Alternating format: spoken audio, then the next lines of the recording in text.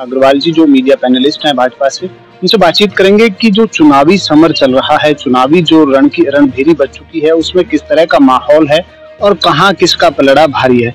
Ma'am सबसे पहले हमारे साथ जुड़ने के लिए बहुत बहुत धन्यवाद। थैंक यू मैम क्या लगता है कि राजस्थान में जिस तरीके से चुनावी सरगर्मियाँ तेज हैं तो किसका पलड़ा भारी है किसका हल्का है कहाँ कमियाँ हैं कहाँ ज़्यादा बढ़ोतरी है? देखिए निश्चित रूप से पलड़े की तो बात ही नहीं है।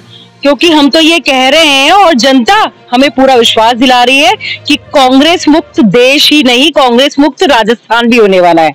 तो पलड़ा तो बीजेपी का ही भारी है, सबको पता है, क्योंकि जिस प्रकार से राजस्थान में भय, भ्रष्टाचार और आतंक का अत्याचार का जो अड्डा कांग्रेस साल के शासनकाल में पिछले पाँच वर्षों से रहा, उसका जनता एक सबूत है।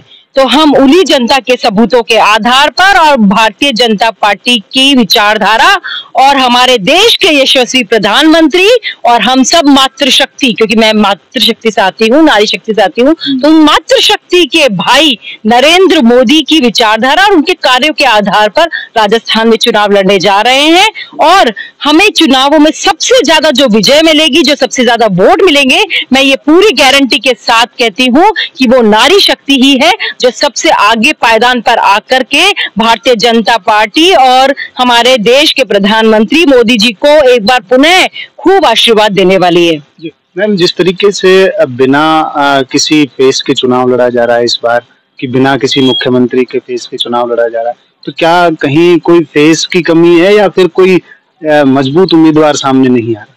देखिए, भारतीय जनता पार्टी में तो फेस की कमी हो ही नहीं सकती है, क्योंकि भारतीय जनता पार्टी वो पार्टी है जो विचारधारा आधारित आधारित पार्टी है, पहली बात।